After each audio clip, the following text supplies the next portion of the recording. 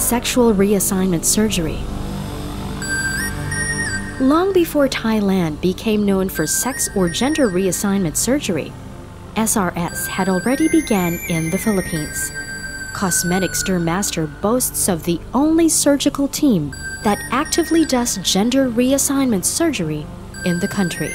We've actually combined our technique with a two-stage technique of Dr. Sanguan Kunaporn of Thailand and this has significantly reduced the hospital stay of the patient as well as improved significantly the appearance of the external genitalia of the patient and this very closely resembles that of the female.